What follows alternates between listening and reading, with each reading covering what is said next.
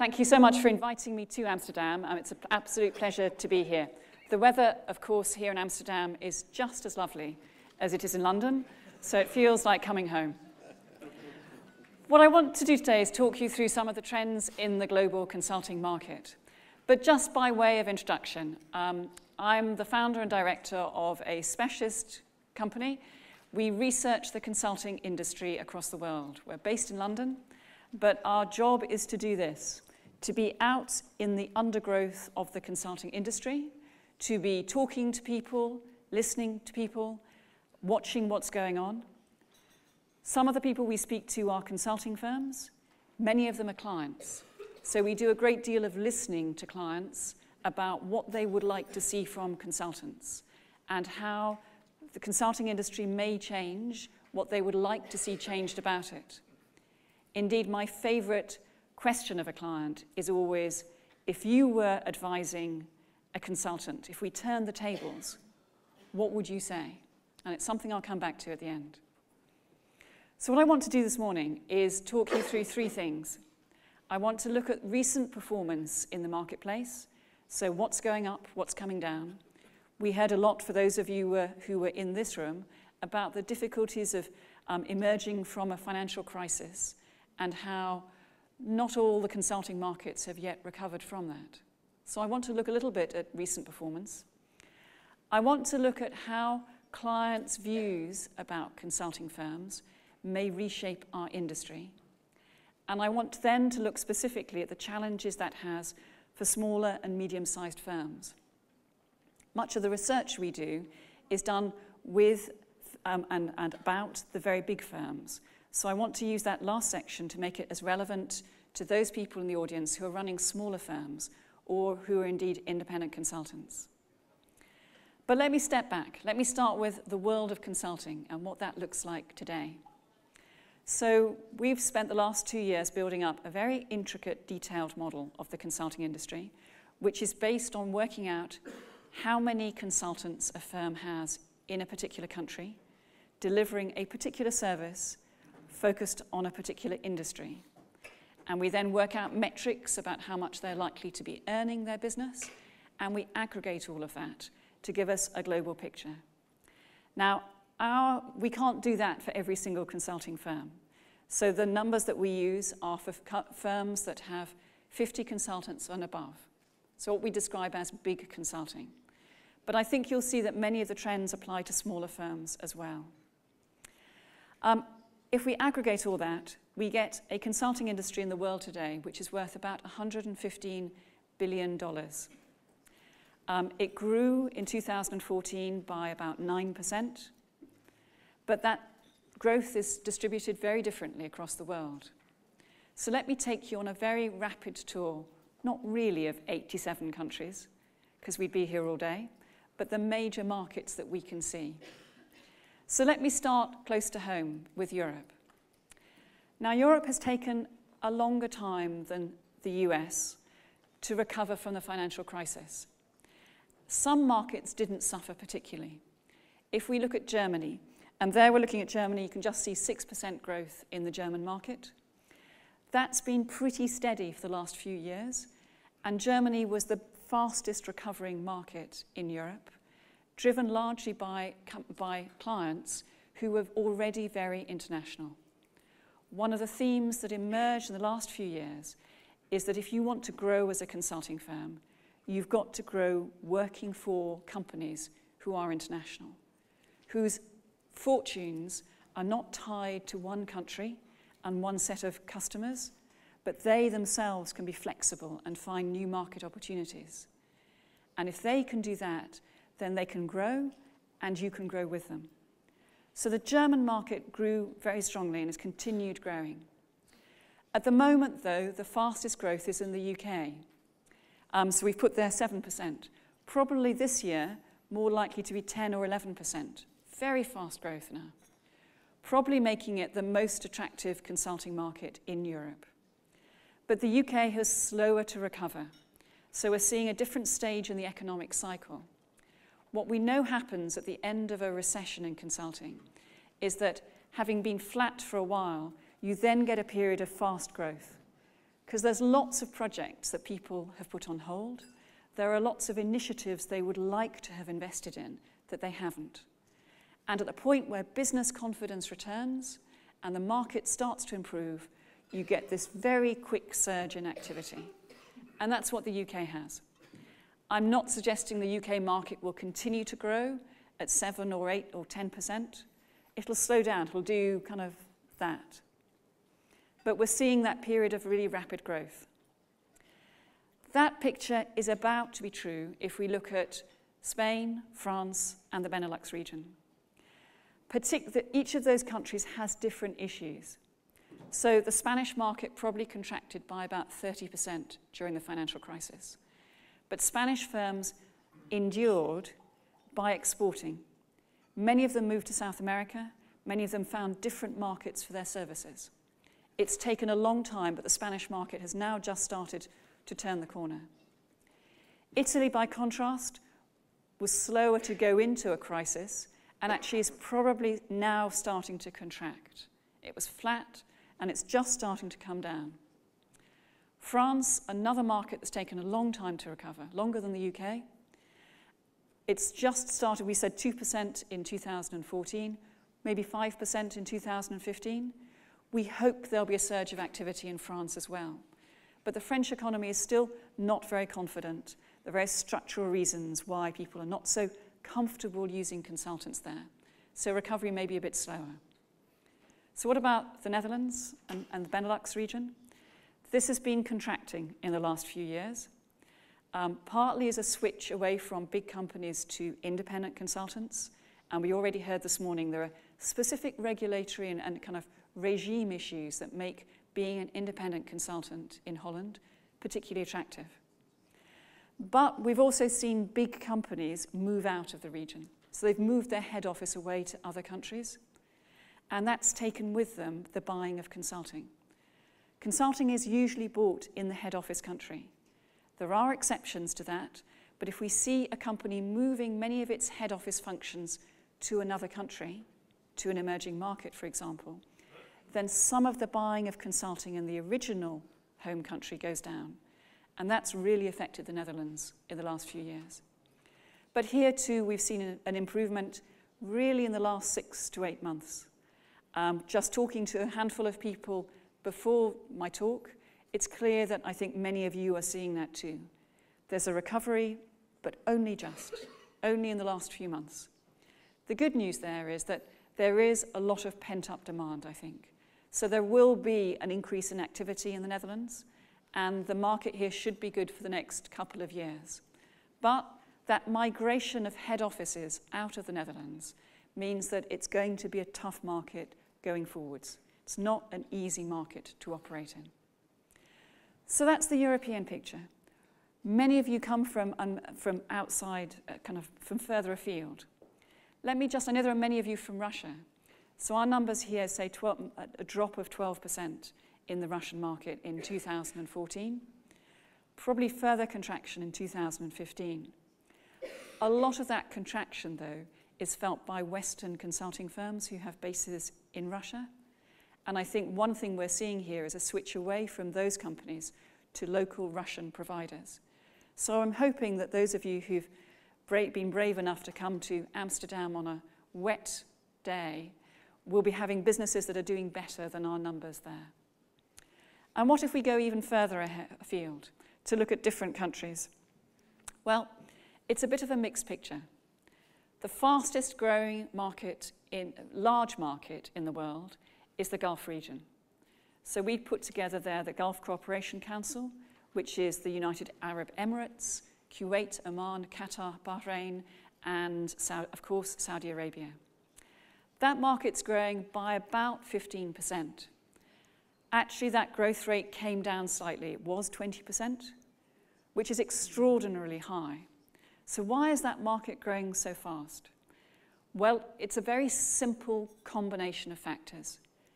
There are clients there with a lot of things to do, a lot of profits to spend, so there are a lot of agendas to work through, and a tremendous shortage of highly qualified people to help them do this.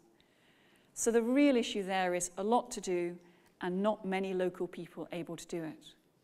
Clients themselves are bringing in people from all over the world to help the process, and consulting firms are there. And almost the unique advantage of consulting firms in the region is that they've been able to bring in people more quickly than clients can do themselves. But a lot of work and not many people doing the work has created a real desire, a real kind of boom for consultants. Go to other emerging markets, though, and you do see a more mixed picture. So, um, India, the growth rate there has been much lower than was predicted four or five years ago, mostly to do with political change.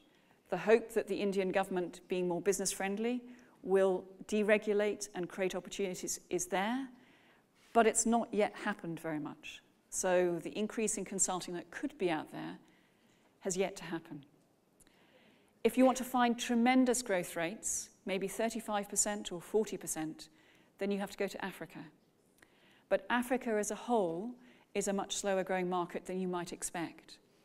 75% of consulting in Africa comes from South Africa.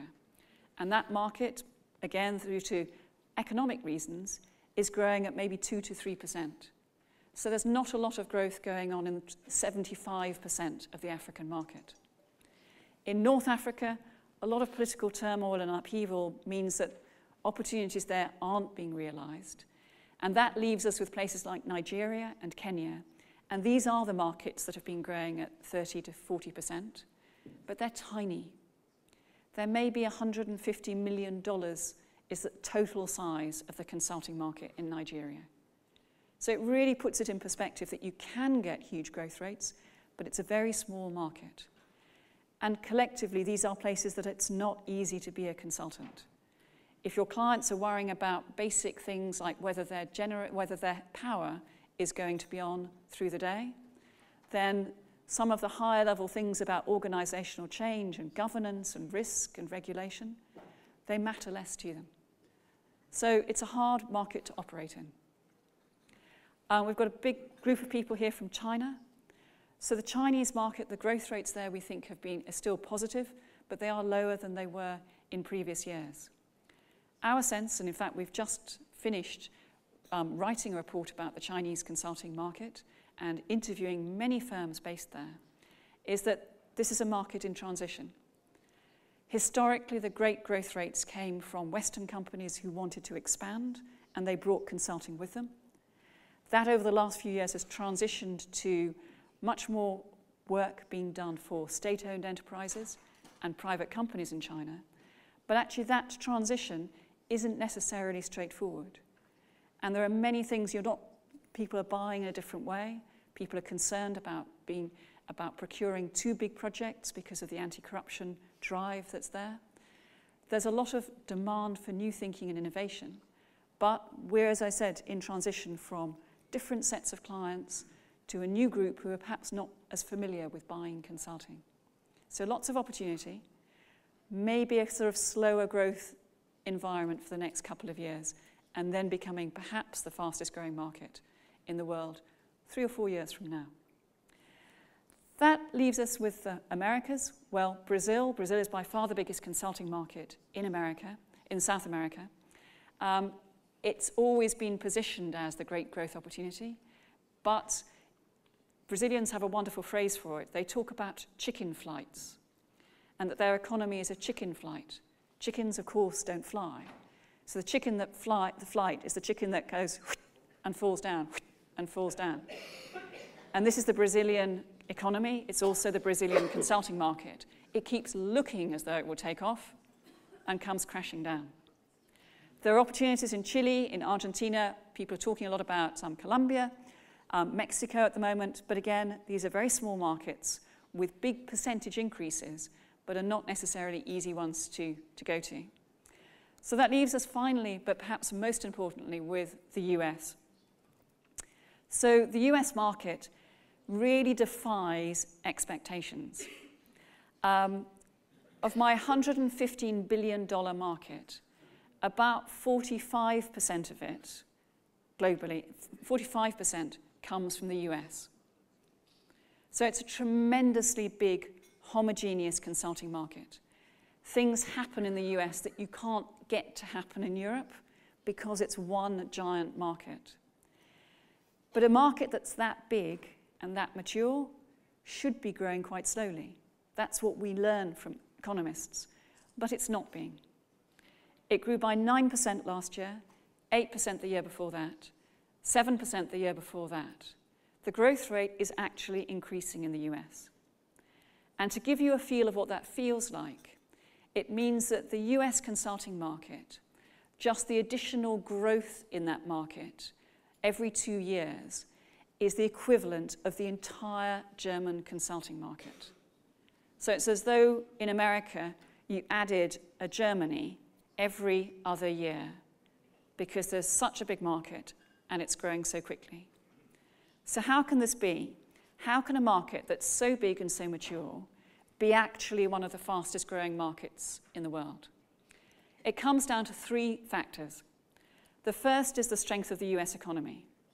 The US economy, for all the fact it, you could argue, pulled us into the crisis with the subprime mortgage scandal, was by far the earliest Western economy to emerge from it, very, very strongly.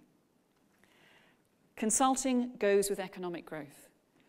We don't find generally consulting firms growing where the economies are not growing.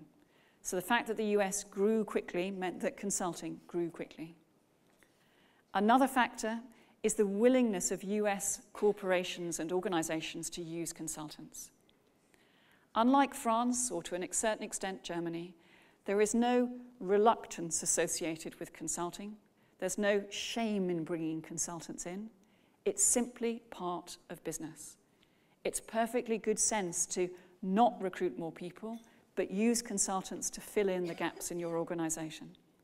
We might argue that's not really consulting, but from a client point of view, they're not distinguishing between the two. They're using consultants in the US to help them get things done. And whether we want to call it consulting or contracting, they don't care. Consultants are playing a fundamental role in implementation in that market.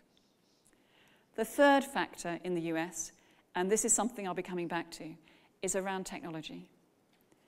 Nine out of 10 clients that we talk to in the US are either engaged or planning to launch widespread transformation programs that are heavily based around technology, and particularly new digital technology. US clients believe the power of technology to fix things. French clients don't necessarily. German clients, Chinese clients we speak to, don't necessarily believe that technology is the only solution. US clients have a slight tendency to do that. They believe that they can solve things through technology and that drives consulting. So, three reasons why the US has defied expectations. And at the moment, although you could say, well, the economy there, maybe will, the growth will slow, maybe firms will start to recruit, so two of those drivers will go away. That third driver about technology, and particularly about digital transformation, is what's really now fueling growth there. So it's by far the biggest boom market we've had in consulting for 15 years. So if we ask clients what's driving their use of consultants, right across the world we hear the same things, although in different markets the balance between them may be slightly different. Nobody has taken their eye away from costs. Even in that booming US market, people are still concerned about how to keep costs under control. That idea of simplification is hugely appealing. How can they get rid of complexity in their business? How can they improve productivity? They know, as we know, that the next financial crisis is probably only a few years away, so they can't afford to let the costs rise up. They have to keep them under control. But we can't just focus on costs. People have also got to grow. One of the most formative interviews I've done in the last couple of years was with a big pharmaceutical company. And I was speaking to the strategy director. And you'll know from talking to your own clients, sometimes when you're talking to somebody and you're tapping away, or I'm tapping away on my laptop, you know they're telling you what they think they want you to hear, And when you close your laptop, when you're about to walk out of the door, that's the point they tell you something really important. So there I was in one of the big pharmaceutical companies, and this director said, I was just about to leave the room. He said, You know what really is going on here? It's that we don't know how to grow. We understand about generics and blockbusters, we understand about new innovators coming through, but we don't know where the market opportunities are going to be. We thought they were going to be in emerging markets, and we've got some growth there. But we are sitting around at our board meeting, and no one wants to talk about the elephant in the room, which is we don't know where growth will come from. And I think that problem happens elsewhere too. And it's one of the things that clients talk most about when we say what's driving your activity and your mental energy is where do we grow? Where do we go to grow? We've been to every country, we've launched every product. What is there left for us to do? And they're looking to consultants to help them do that. Where are the new sources of growth? Where are the new markets? What could they do better to raise their top line as well as control their bottom line? But they're not doing that in a free environment. We're used to the idea of risk and regulation in financial services, but risk is something that has now got a much broader picture to it. Risk around the resilience of your supply chain. If you're a consumer products company, you, are you buying from a factory in an emerging market where people are working in conditions that are unsafe? How do you know that some crisis that you've got won't blow up into a major issue that destroys your reputation as a business? We're also seeing regulation affect more parts of the world as well, and they're turning to consultants more and more to help with risk and compliance. Join all those together, and you've got an almost impossible world for a client a client who has to keep their cost under control, somehow has to grow, and somehow has to be compliant with new regulation they may not fully understand. So, how can they do all of that? Well, that tells us why people are looking at technology. Technology becomes the solution here. It becomes the way in which you can square the circle, make things possible when you're just incredibly busy. So it's not surprising that it feels a bit like it did before the year 2000. So back then, and I was still interviewing people in consulting firms and clients that, at that time, now we hear people say things like, my chief executive says we need a digital strategy. I don't know what a digital strategy is, but we have a budget for one and we have to get one. and this particular person was building very large scale trucks. And you think, what is digital in the context of heavy manufacturing and engineering? Of course, there is a role for digital there, but people are working on this. They're trying to find opportunities. This is the solution. It's the, the magic wand, it's the silver bullet that people are looking at, which means that we've probably got a bubble forming around it. Some of these big projects will not deliver what we expect, some of them probably will do. And actually, one of the challenges at the moment is to make sure that the consulting industry supports that and helps people deliver it, but doesn't overinflate the bubble, which of course is what happened around the dot com boom. Underlying all of this is a picture of clients who are phenomenally busy. So we ask people every year what are the activities that are going to drive your business and you, you as a person in the next 12 to 18 months. And they're things about cost cutting and regulation. If we add all of those things up, we get a simple index about activity, about how busy people are. And that's the blue dots you can see here. So if we take all of the thousands and thousands of people that we speak to and survey, then you get a picture that says in 2013, 72% of organizations were doing one or more of the initiatives that we listed. Today, it's 84%. So people are doing or planning to do more than they were. And that would be fine, but it wouldn't help consultants if they're not also willing to use consultants. So what the green dots represent is the proportion of organizations who expect that this activity will increase their use of consultants. And you can see that's also risen from 45% two years ago to 54% today. So, clients, your clients, are not only busier, but they are more willing than they were two years ago to call on you for your help because they're so busy. They can't do everything. They need consultants more than ever. Very simply put, if we then ask people how they think their expenditure on consulting will change, then the proportion of people or organizations is twice today what it was two years ago who say it will increase.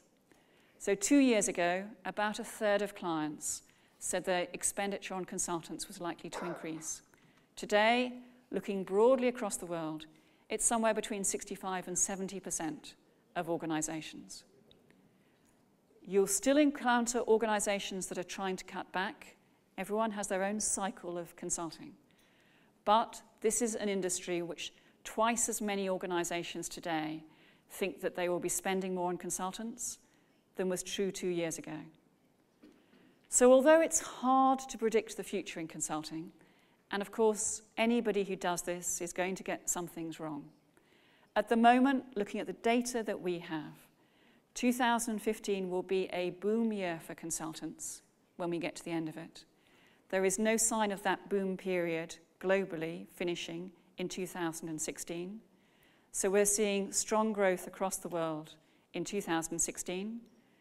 2017 maybe starts to slow a bit. And of course, perhaps by that point, we've got to the next financial crisis. You never go for too long without a crisis. But I think next year, the year afterwards, these are, this is a good time to be a consultant.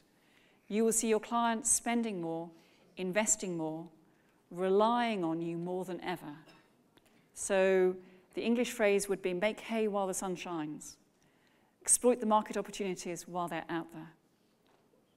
So that's my picture of the state of consulting.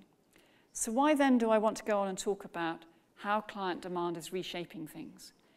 Because at the end of any period of, of change, we embark on a new period of change. There's no stopping change in any industry, let alone in consulting. And when we ask clients often, how, you know, how do they use consultants? That's always our first question. How do you use consultants? Increasingly, what we hear is we use consultants in two ways. And I liken it to a piece of string. My, I like to call this my string theory. So, those of you who are physicists might recognize the parallel. My colleagues call it my rope trick. But it's a piece of string. Imagine for a moment that consulting is a piece of string. At the one, one side of our piece of string, we've got consulting, which essentially is low cost consulting. It's work that people look at and don't want to pay a huge amount for. At the other end, we've got something that I'm going to call high value consulting. Not necessarily high cost, but certainly high value. So it's a spectrum. Now, that spectrum has always been there to some degree, but I think there are some things that are changing at the moment.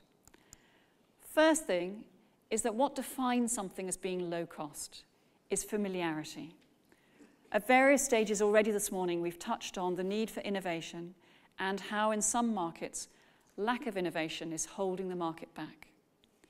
The clients we speak to will say, We have a certain type of work that we give consultants which we would do ourselves. We have the capability to do it, but we lack the capacity, we lack the time to do it. So we're going to bring in consultants to help with that area.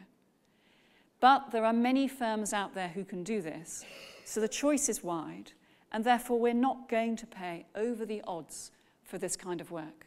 It's going to be a low cost market. At the other end, we've got people saying, this is an issue that we don't understand. We are not familiar with this particular area, and we don't know which kinds of consulting firms to use to help us in the market. Because it's unfamiliar, we want people who are going to work with us, who are very experienced people, who are probably very senior people, who can bring new ideas, new thinking, new data, new knowledge. So, innovation is the core part to that. Now, the thing that clients go on to say is that having thought through, well, we've got low, low cost and high value, they say, well, maybe these are two different consulting markets. Maybe we haven't got one consulting market, we've got two. We've got a low cost market and a high value market. And actually, that's why my, my, my string is fraying in the middle. It feels a bit like clients are pulling it apart and saying, two markets. Firm, a firm working in the low cost space is not necessarily a firm they'll use in the high value space. The two are mutually exclusive. And I think this adds up into a whole new ballgame, a different kind of consulting industry. And I think this is what's driving, and we talked just earlier this morning about different business models. This is what's driving that debate. The market is splitting. But it's not splitting in ways that you'd expect. So, first of all, this is not simply a market that's got high value advice and low cost implementation. There are some types of implementation that fall in the high value space. Around digital, for example, really fast development of stuff, agile working. This is high value. But there are types of advice which are low cost. Due diligence. I'd argue quite a lot of corporate strategy work is low cost. Vast areas of HR and change consulting are in the low cost space because there hasn't been much innovation there. If there'd been more innovation, it would be in the high value part because clients are really interested in it. But there hasn't been, so clients see it as a commodity. As I've said, clients say these two things are mutually exclusive. They want to go for one firm, firm A, for low cost work, but they'll go to firm B for the high value work, which means firms need to rethink their business models. Traditional consulting doesn't fall neatly into my two parts of the market. You can't say technology is in the low cost space because digital technology is in the high value space. Nor can you say that, um, you can, nor, nor can you say that strategy consulting is high value. Some aspects of strategy consulting are low cost. So this division of the market cuts across traditional ways in which firms have organized themselves. And finally, a lot of consulting firms have been focused for the last 10 years on being more efficient. They've found ways to offshore their businesses, to cut costs, to deliver services at a lower price. In other words, their strategy has been focused on the low cost part of the market. And it's like one of those apocryphal um, big ships that's sailing towards a destination that are very hard to turn around. So the big ship, ship of consulting is heading towards an island that's labeled low cost consulting. But clients, having been through the financial crisis, being very busy, wanting to use consultants to do different things, have now built another island over there, which is called high value consulting. And they're saying, hey, come over here because we've got opportunities. But the big ship of consulting can't move around that fast. So, what, what are people doing? Well, they're breaking up their businesses. One of the big themes of the last year, and I think will continue in the next few years, is we move away from the idea of one firm, one big firm, to get many, many smaller firms. It might be separate firms, it might just be separate brands, it might be radically different business models. But we're seeing firms look at their business and saying, we can't be in both areas. So, you end up with some firms who are in the commodity space. Some firms will be in the high value part. I think you get some firms who will try and cover both aspects, winning large scale projects that combine both the commodity end and the high value end. But that's going to be a very, very difficult model to do because clients will continuously be saying, no, two markets, two businesses, two ways of working. And that's why I reckon it takes me nine minutes in any meeting I have with a leadership team of a consulting firm across the world, just nine minutes from when I start talking to when somebody asks a question about business models. It's a really important issue, and we're right to be looking at some of the innovation and innovative new ideas today. But it's being driven by a market that's splitting, with clients saying two different models. How can one firm do both? How do you operate in this different world? So I want to take, take back, step back from that and say, well, how does that work if you're, as many of you in the room are, running very specialized businesses, real experts in your particular field? How does all that big consulting stuff apply to you? Well, I think there's some bad news and some good news. I have a teenage son, and I know when I, he'll walk in through the door and he'll say, Mum, and he always knows I want the bad news first. Mum, I've got bad news and good news. So I've got, for you lot, I've got bad news and I've got good news. Okay? The bad news is that this thing I keep talking about to do with business transformation. Small firms don't win big business transformation projects. They can't. They're too small. We hear a lot of clients saying how much they'd like to use small firms because of the specialist expertise that you bring. But they can't give the work to you because the work is too big. It's going to cover multiple geographies, involve hundreds of people with different types of technology doing all kinds of different things. They need multidisciplinary projects, bringing in different experts. They can't even imagine all of those different experts at one stage. So they inevitably go back to the big firms. And it's one of the reasons why, if we look at very big firms versus medium sized firms, the very big firms are growing much faster because they're winning these big projects. Between a third and two thirds of all the growth in consulting comes in the form of business transformation projects. So there are still small projects, but sm many small projects are being wrapped up into single big projects. So that's the bad news. The bad news is a lot of the growth is in big projects, which if you're an independent consultant or a very small specialist firm, you cannot hope to win.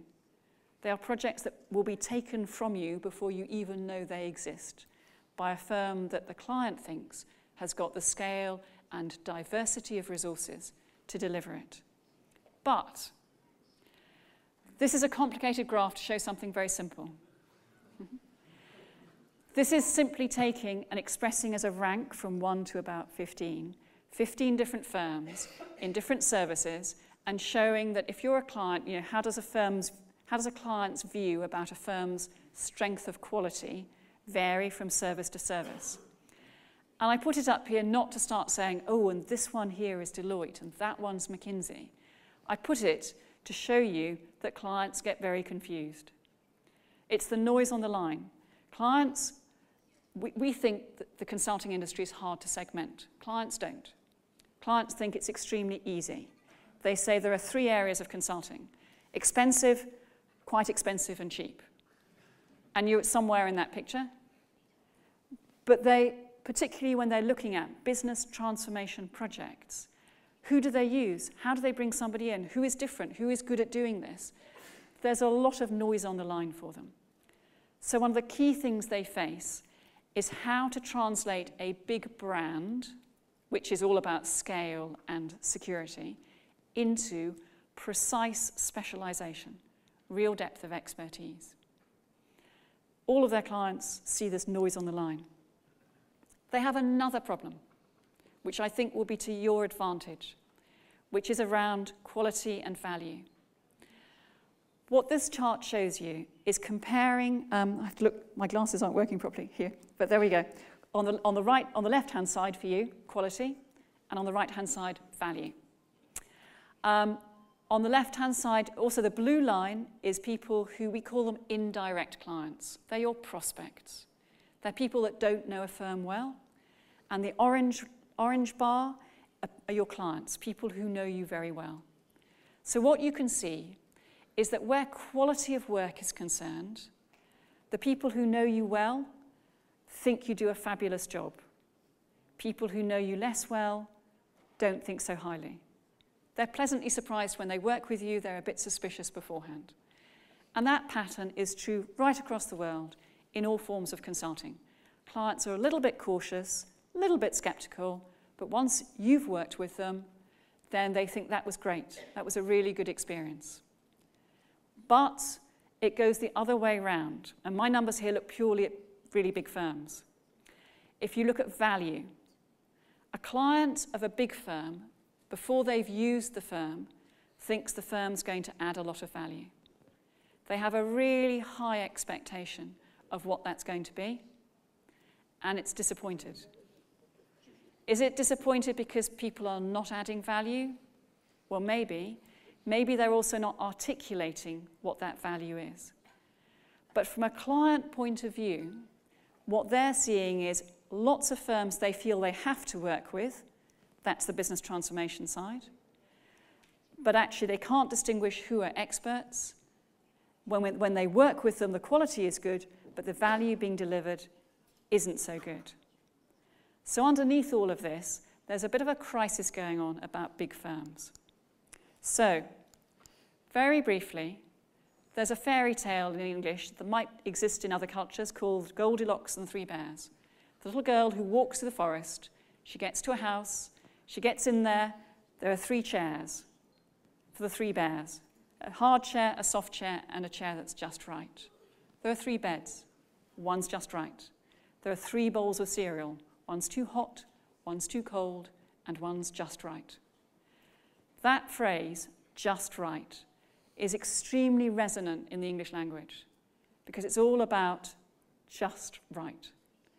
And I have a theory about consulting. I have a theory that I think applies to everybody in this room, which is that we think that clients, when they look at big consulting firms, say, too hot.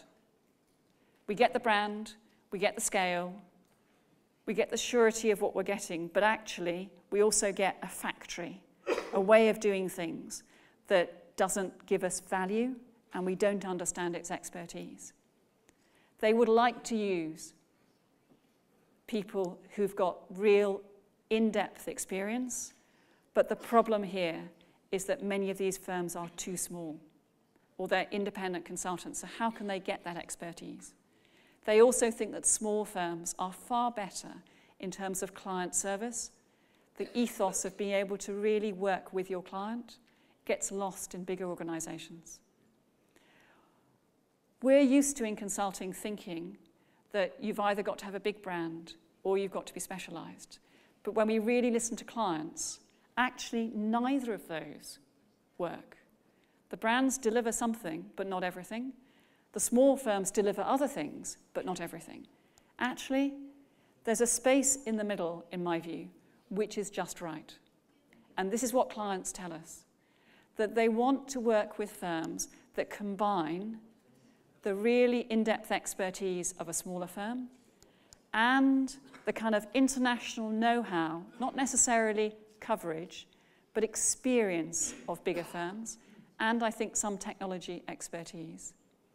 And they want to put that together into a firm which is, like Goldilocks, just right.